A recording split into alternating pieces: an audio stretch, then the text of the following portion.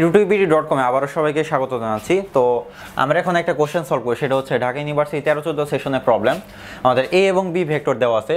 এখানে আমাদের A B parallel হলে এম এর মান কত, সেটা বের করতে হবে। তো খেয়াল করো ভেক্টরে আমাদের এম এর মানটা নাই, অর্থাৎ আই কম্পোনেন্টে এম এর মান কত হবে সেটা আমরা জানি না। তো খেয়াল করো, যেহেতু প্যারালাল সেহেতু আমাদের কম্পোনেন্ট ওয়াইজ রেশিও সমান থাকবে, অর্থাৎ টু বাই এম সমান থ্রি বাই টু সমান মাইনাস ফাইভ বাই আমাদের এখানে আমাদের মাইনাস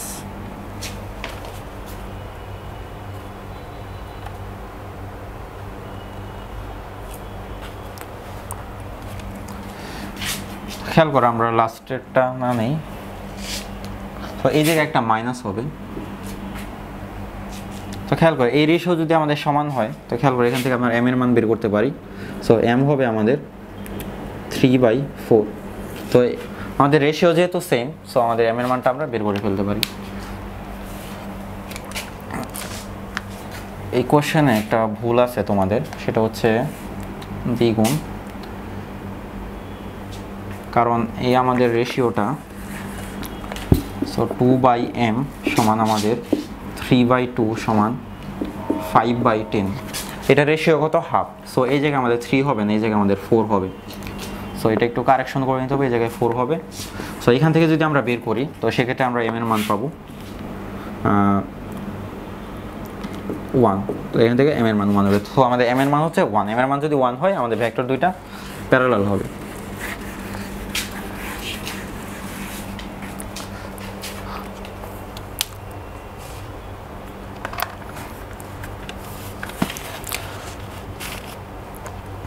সো আমাদের তার পরবর্তী প্রবলেম সেটা হচ্ছে আমাদের পি সমান একটা ভেক্টর দেওয়া আছে, সেটা হচ্ছে I plus two J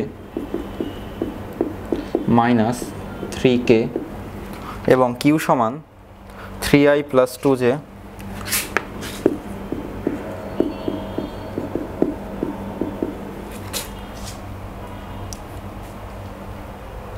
plus two root three two root three K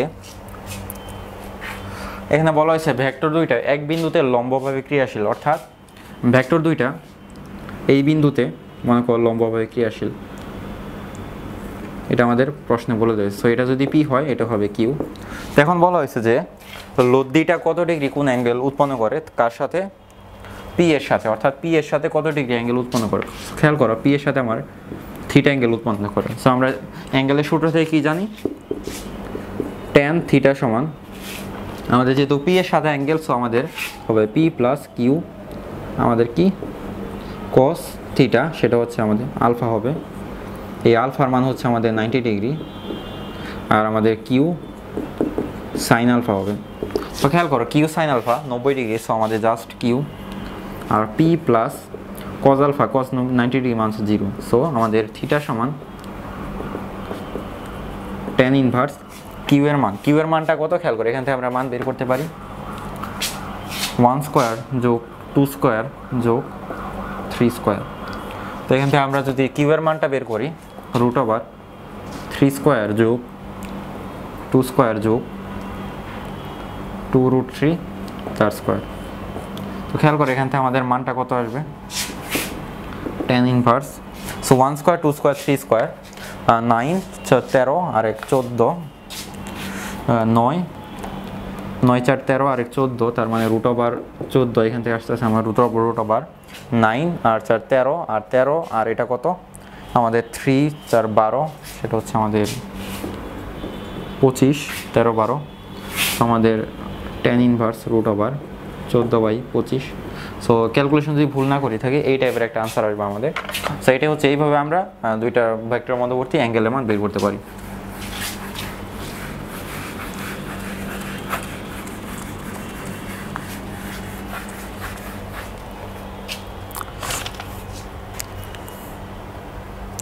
so এরপরে হচ্ছে আমাদের উপাংশের একটা প্রবলেম সেটা হচ্ছে একটি কাঠের খণ্ডকে আনুভূমিকের সাথে, এটা যদি একটা কাঠের খণ্ড হয়, এটাকে আনুভূমিকের সাথে ষাট ডিগ্রি কোণে টানা হচ্ছে। ষাট ডিগ্রি কোণে দুইশো নিউটন বলে এফ সমান দুইশো নিউটন দুইশো নিউটন বলে টানা হচ্ছে। সো আমাদের আনুভূমিকের দিকে কার্যকরী বল কত? অর্থাৎ সে টানতেছে কিন্তু এইভাবে। কেন? কারণ এটা কিছু ওজন আছে। তো এই ভেক্টরটা আমাদের এই দিকে আর এই দিকে দুইটা উপাংশ হবে। তো এই উপাংশটা ওজনকে নিষ্ক্রিয় করবে আর এটা মূলত কাজ করবে। তো খেয়াল করো, এটা হচ্ছে আমাদের থিটা থিটা সমান ষাট ডিগ্রি। সো এই উপাংশ কত হবে? যেহেতু অতিভুজের সাথে আমাদের কোন সংলগ্ন বাহু সো আমাদের এফ কস থিটা, অর্থাৎ এফ হচ্ছে আমাদের দুইশো ইন্টু কস ষাট ডিগ্রি। কস ষাট ডিগ্রি মান হাফ সো তার মানে একশো নিউটন। তার মানে আমাদের একশো নিউটন বল আমাদের আনুভূমিকের দিকে কার্যকর হবে।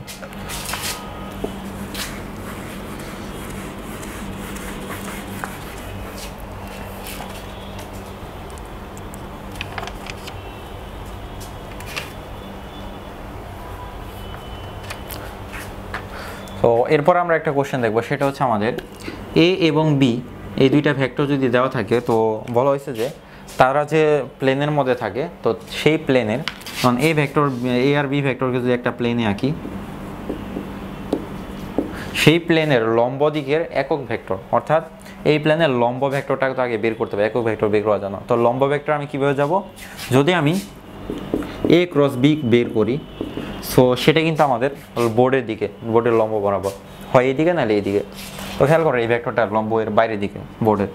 তো খেয়াল করো এই ভেক্টরটা এইদিকে সো সেই ভেক্টরের দিকে যদি একক ভেক্টর বের করতে চাই, সেই ভেক্টরকে তার মান দ্বারা ভাগ করতে হবে। তো তার মান দ্বারা ভাগ করলে আমি একটা একক ভেক্টর পাবো, যেটা হচ্ছে আমাদের বোর্ডের লম্ব দিকে তো এই কোশ্চেনটা একবার আসছিল ইউনিভার্সিটি অ্যাডমিশন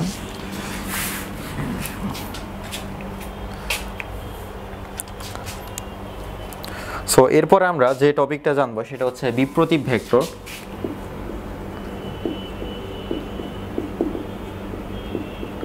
যেমন আমাদের মনে করো এ সমান একটা ভেক্টর আছে টু আইস আই। তার বিপ্রতীপ ভেক্টরটা কি হবে?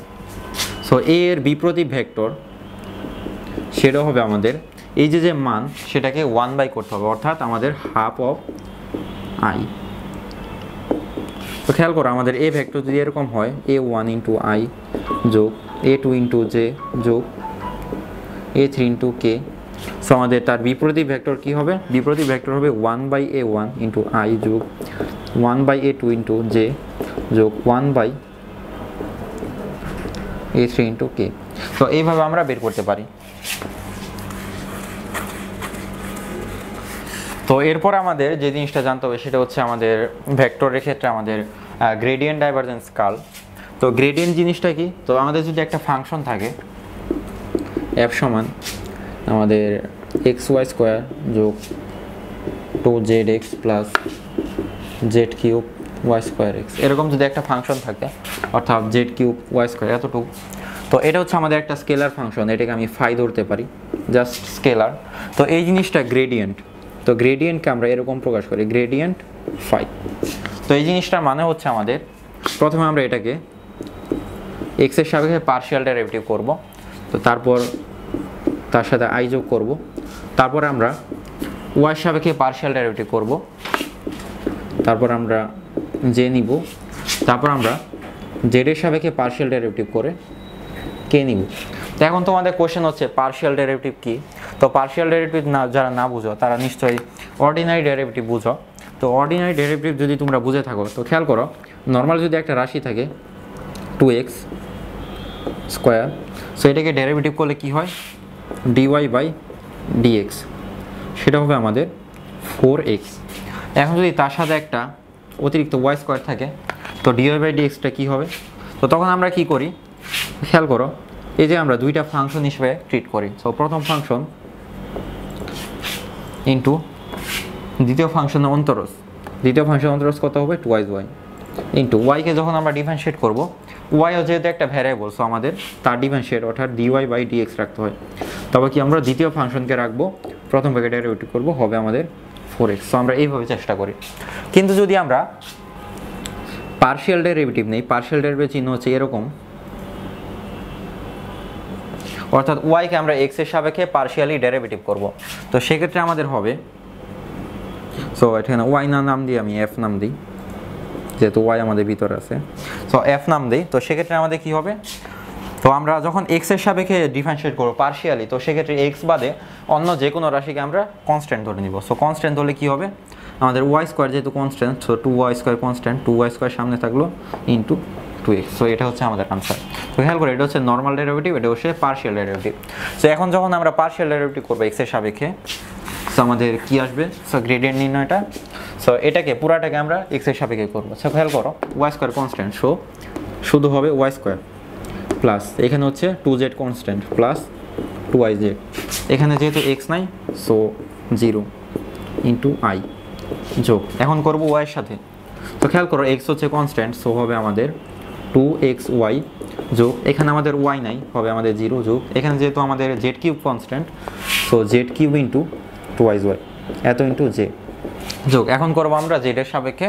এখানে আমাদের অন্য সব কিছু কনস্ট্যান্ট সো এখানে জেড নাই, এই জায়গায় জিরো এই জায়গায় দেখো আমাদের জেড আছে so two X constant just two X plus এখানে আমাদের Z variable Y square constant so Y square into three Z square into K so এই যে যে আমরা ভেক্টরটা পাইলাম, তো খেয়াল করো গ্রেডিয়েন্ট অপারেটরটা কি করে? এটা আমাদের একটা জিনিসের, যদি আমরা ঢাল নিই মানে এটা হচ্ছে ত্রিমাত্রিক ঢাল বলতে পারো। গ্রেডিয়েন্ট করলে সে জিনিসটাকে সে একটা ভেক্টর বানায়। তো গ্রেডিয়েন্টের মূল ব্যাখ্যাটা কি? সেটা যদি একটু দেওয়ার চেষ্টা করি। তোমরা যারা ভার্সিটি অ্যাডমিশনে পরীক্ষা দিবা তাদের আসলে এটা খুব একটা জানা জরুরি না। তো যদি তোমরা একটা দ্বিমাত্রিক প্লেন চিন্তা করো, খেয়াল করো। এটা হচ্ছে আমাদের একটা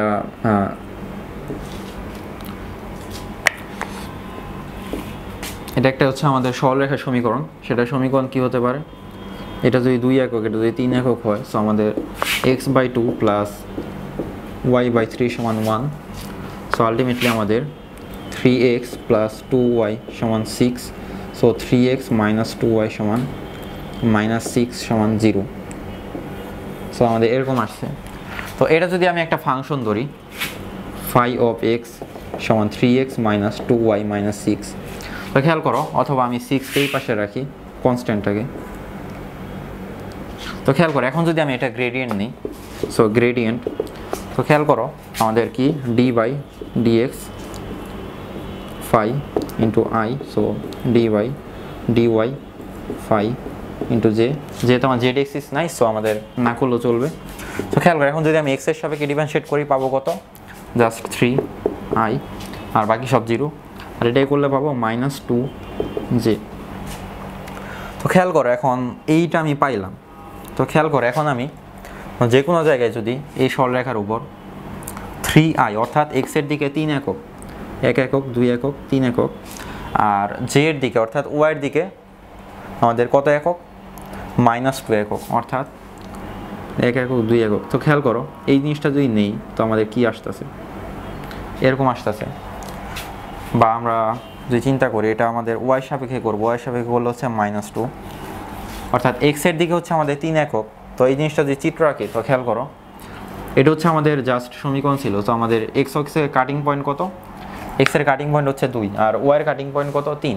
তো এই জায়গায় যদি আমরা এটার গ্রেডিয়েন্ট নিই গ্রেডিয়েন্ট নেওয়ার পরে যদি আমরা একটা এই জায়গায় একটা ভেক্টর রাখতে চেষ্টা করি। তো তোমরা দেখবে ভেক্টর রাখলে ভেক্টরটা এরকম লম্ব হচ্ছে, অর্থাৎ লম্ব হবে। আচ্ছা এই জায়গায় আমাদের প্লাস হবে, আমরা ভুল লিখছি। সো প্লাস লিখে, এই জায়গায় প্লাস টু যায়। তো খেয়াল করো এক্স এক্সিসের দিকে আমাদের তিন একক। যে কোনো পয়েন্টে এক একক, দুই একক, তিন একক ওয়াইয়ের দিকে দুই একক, এক একক, দুই একক। তো খেয়াল করো, এটাকে যদি দুইটা ভেক্টর যদি তোমরা যোগ করো, যেহেতু আই যে কম্পোনেন্ট আছে সো যোগ করলে আলটিমেটলি এটা কিন্তু আমাদের নাইনটি ডিগ্রি হবে। সো একটা জিনিসে গ্রেডিয়েন্ট করলে সেটা আমাদের ওই যে আমাদের সারফেসটা আছে, সেই সারফেসের সাথে লম্ব হয়। তো নর্মালি যদি একটা আমরা থ্রি ডাইমেনশন চিন্তা করি, এরকম। সো থ্রি ডাইমেনশন এটা হচ্ছে আমাদের এক্স এক্সিস এটা ওয়াই এক্সিস এটা J axis X cross Y সমান জেড সো এরকম যদি একটা সারফেস হয় সো এই সারফেস এই সারফেস যদি আমরা গ্রেডিয়েন্ট করি, তাহলে এই যে সারফেস তার লম্ব দিকের একক ভেক্টর বের হয়। তো এটার এই সারফেসে দেখো বিভিন্ন, এটার লম্ব ভেক্টর এই দিকে এটার লম্ব ভেক্টর এই দিকে বিভিন্নটা বিভিন্ন দিকে। সো যার কারণে এই জায়গায় আমাদের যদি আমরা গ্রেডিয়েন্ট করি, সেক্ষেত্রে আমরা এটা আমাদের ভ্যারিয়েবল পাবো এক্স অর্থাৎ এক্সের প্রত্যেকটা কোঅর্ডিনেটের জন্য এটা কিন্তু বিভিন্ন দিকে দেখাচ্ছে। বা একটা থ্রি ডাইমেনশন যদি চিন্তা করি সো এটা হচ্ছে আমাদের দুই ভ্যারিয়েবল সো তিন ভ্যারিয়েবল যদি চিন্তা করি সো আমাদের ত্রিমাত্রিক একটা ঢাল পাবো। সো সেই ঢাল দিয়ে আমরা সেটা লম্ব বা সেটা কোন দিক দিয়ে গেলে আমরা সর্বোচ্চ চূড়া পাবো, সেটা আমরা বের করতে পারি, বিভিন্ন অ্যানালাইসিস করতে পারি। তো গ্রেডিয়েন্টের মধ্যে আরেকটা জিনিস আছে, সেটা হচ্ছে ডাইভারজেন্স সেটাকে এরকম লেখা হয়। সো ডাইভারজেন্স করা যায় একটা ভেক্টর ক্ষেত্রকে। সো ডাইভারজেন্স করলে ভেক্টর ক্ষেত্রটা স্কেলার ফিল্ড হয়ে যায়।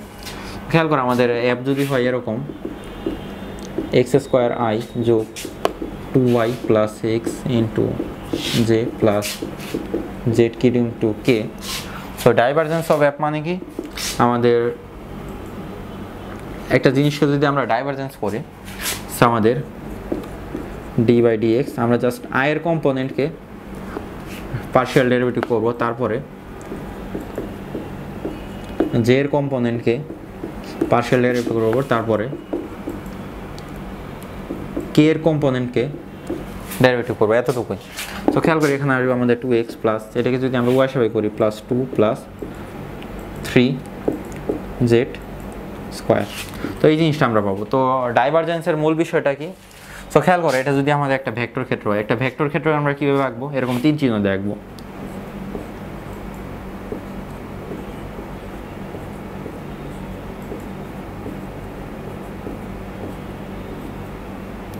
সো খেয়াল করো, এটার ডাইভারজেন্সটা আসলে কি মিন করে? ডাইভারজেন্সটা এরকম একটা কিছু মিন করে। তো খেয়াল করো, এই জায়গায় যদি আমি একটা একটা ক্ষেত্রফল চিন্তা করি বা একটা আয়তন চিন্তা করি, এই আয়তনের মধ্যে আমার এই কোঅর্ডিনেটের ভিতরে যতটুকু না ঢুকতেছে, তার চেয়ে কিন্তু বেশি বের হয়ে যাইতেছে, অর্থাৎ বিচ্যুতি বেশি হইতেছে। এরকম এই ডাইভার ড্রাইভারজেন্সটা হচ্ছে বিচ্যুতি পরিমাপক, অর্থাৎ একটা আমি কোনো একটা পয়েন্টে যদি একটা নির্দিষ্ট আয়তন চিন্তা করি, সে আয়তনে মানে ঢুকার চেয়ে কিন্তু বের হইতেছে বেশি, তো সেক্ষেত্রে আমাদের ডাইভারজেন্স হয় পজিটিভ আর যদি ঢুকে বেশি, বের হয় কম, সেটা হচ্ছে আমাদের জেনারেট হয় না, সেটা আমাদের ভিতরে বিলুপ্ত হয়ে যায়, সেক্ষেত্রে আমাদের ডাইভারজেন্স হয় নেগেটিভ সো ডাইভারজেন্স জিনিসটা মিন করে যে কতটুকু বের হচ্ছে বা কতটুকু ঢুকে যাচ্ছে এই জিনিসটা। আর এরকম আরেকটা অপারেটর আছে, সেটা হচ্ছে আমাদের কাল।